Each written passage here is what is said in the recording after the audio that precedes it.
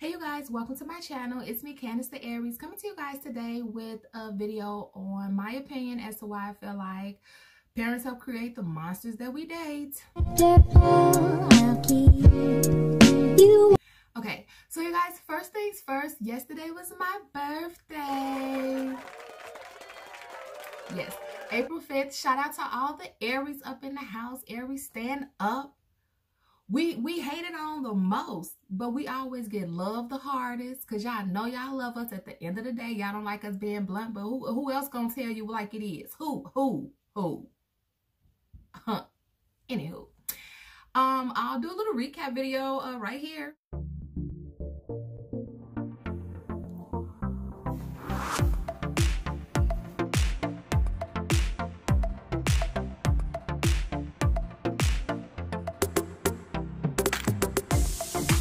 So yeah you guys i had a ball. Um thank you to everybody for every phone call every facebook message every video call every messenger message every text every everything you guys. I felt loved uh, as i do every birthday. Uh, another year greater you know more to come of course. So let's get right into the topic you guys. Um i've been debating on whether or not to make this video. Um i'm still trying to kind of I'm kind of trying to find my place on YouTube as to what I should talk about. Um, it, I have so many things that go through my head all the time, and then sometimes I'm like, you know what, maybe this is too um risque perhaps to talk about or maybe I shouldn't talk about this maybe I shouldn't you know just based on like how I feel like other people might interpret it or how other people might take it but at the end of the day um I could say it's a beautiful day and there's gonna be somebody that disagrees with this so I'm like might as well just talk about what I want to talk about. So let's get right into it. Um, I, and of course, this is my opinion. I strongly feel like the reason why I feel like, in my opinion, a lot of parents, not all parents, but the reason why I feel like a lot of parents create the monsters that we date is because of this. Um, let's start with a man. We'll just start with the opposite. So, a lot of men, as um boys, they're raised to not cry, not show emotions. They're raised to um, fight. They're taught how to fight. They're raised to be like aggressive. Basically, they're raised to be, they're raised to be, a lot of boys are raised to be aggressive. They're raised to just basically not show any emotions, but if they do show emotions, that emotion that they're supposed to show is like anger or just being mad or just combative and things like that. Women, on the other hand, are raised to be dainty and timid and of course feminine. They're raised to you know show emotions cry because we understand that and all that the, the total opposite. They're not raised a, a lot of girls are not raised to fight. A lot of girls a lot of girls they learn how to fight. They're not taught how to fight. Let me rephrase that. A lot of girls are not taught how to fight. They learn how to fight because other females will try you because they're jealous, because they want what you have, or just because they just basically they don't like you, they don't like how you look. Everybody else is bullying. Just it's it's multiple reasons why people pick on other people. So a lot of girls, they they learn how to fight based off of their life experiences. But a lot of boys are taught how to fight. You know, they're taught, boys are taught to, a lot of boys, not all, but a lot of boys are taught to know how to defend themselves and basically to, if you're going to show emotions, show it with your hands type thing. So what happens is these boys grow up as men to be men. These women, these girls grow up to be women. And they get with men who were taught to not show any emotions, not cry, um, be aggressive, to fight, to show your emotions through physical, um, like to get your emotions out physically, um, as opposed to verbally. And they get with women who are nice and dainty and timid and have a lot of emotions and things like that. So you get you put them together and they're automatically automatically oil and water. They're automatically don't go together. So what you get is a lot of women who are being women, just emotional because that's just how a lot of women are. And then men who are like, what is wrong with you? Like, what is wrong with you? You're always crying. You're always talking to me about this. You're always talking to me about that. You're always doing this. You're always doing that. Because a lot of, and because a lot of women are emotional, you know, everybody shows their emotions differently. So if you get in an argument with a man, um, and certain types of men. You get in arguments with certain types of men and you make them feel a certain type of way or you make them angry. Sometimes, if you're dealing with a certain type of man, you get hit because that man was raised to show their emotions through violence. Don't talk about it, be about it type thing. So then a lot of women started starts getting beat on and things like that. Um what happens is like the women end up getting with men who are there they're automatically their opposite because they weren't raised the same way.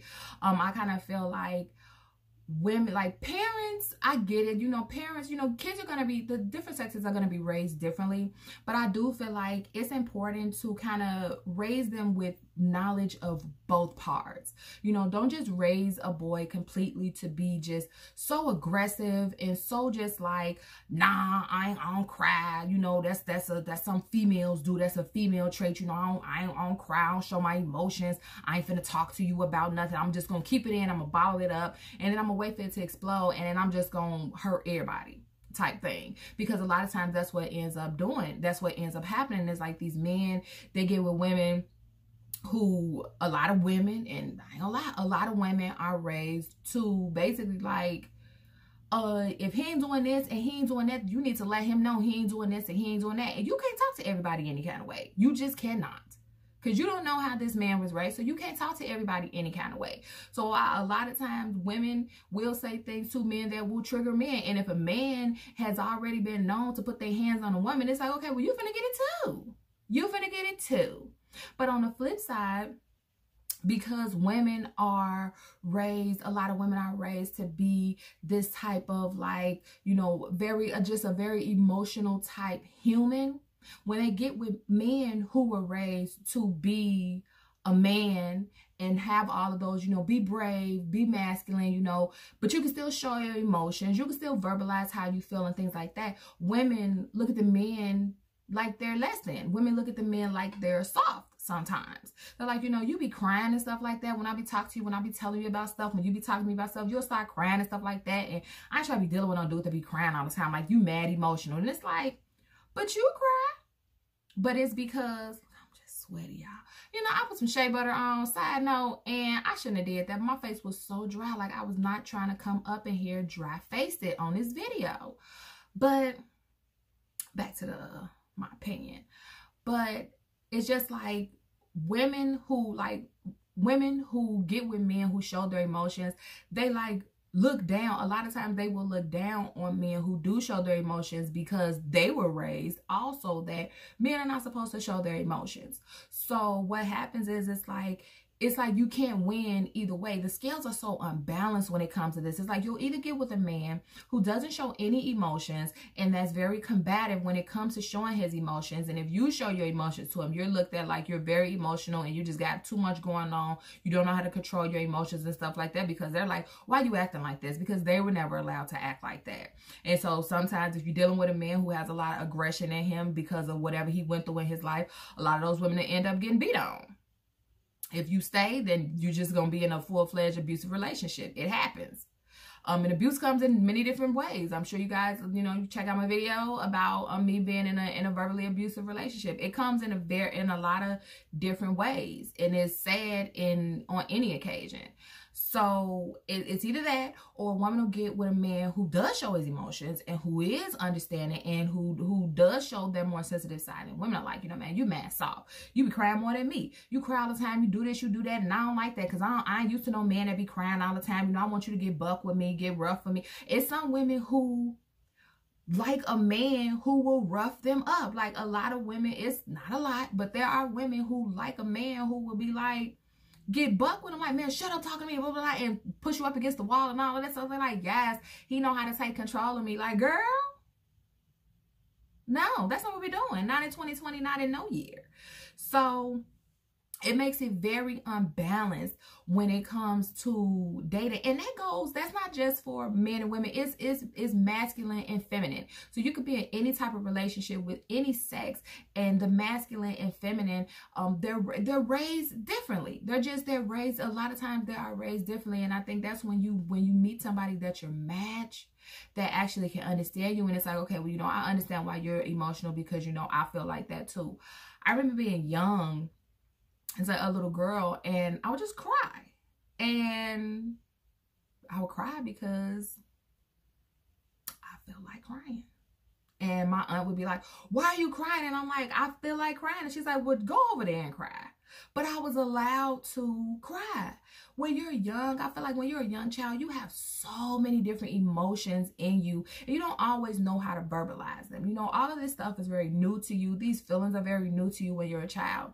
But when you're a, a male child, a lot of times you're told to shut up. You know, you're acting a certain type of way. You're acting like a girl. Don't be crying all the time. You know, toughen up. Do this and do that. And then that does something to a male emotionally as well your words impact children a lot. And I had to learn that being a parent that my words impact my child um just like anybody else's words will impact their children it's like the things you say to your child be it positive or negative or indifferent it affects them in different ways because everybody is not going to interpret things the way they're meant to be interpreted so i just kind of feel like if people took more time kind of showing their kids like both sides. And I don't really I don't really buy into that whole like, you know, I wasn't raised that way, so I don't raise my kids that way type thing.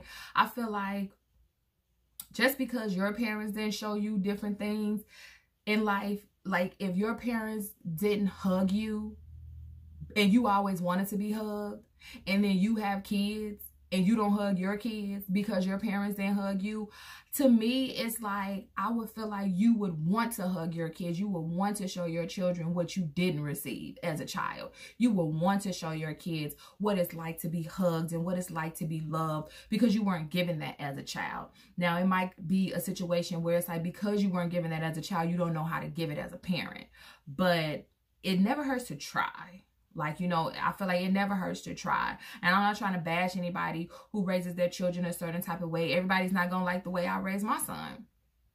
You know, it is what it is. Everybody has different parenting styles. Everybody has different views on how they raise their children. But I'm I want my son to grow up and understand both sides. Understand that it's okay for you to show your emotions and it's even better for you to verbalize them. You don't have to go around and be like this aggressive person and this like I'm big and I'm bad and I don't do this and I don't do that and I'm a tough guy type person. It's like you can be that, but at the same time, understand the other side as well. Understand that you can talk about your emotions or you can talk through your emotions. And if you meet somebody who doesn't understand that aspect of you and doesn't understand that side of you, then that person is just simply not for you if you get with whoever you're going to be with in life and that person doesn't accept the fact that you do show emotions and that you do want to verbalize how you feel instead of bottling things up because that's super duper toxic on both sides whether you're a man or a woman if you just bottle up all of your emotions like that's super duper toxic because it's gonna come out and it's gonna come out in a negative way. And a lot of times what people don't understand is when you hold those emotions in, it can literally make you sick.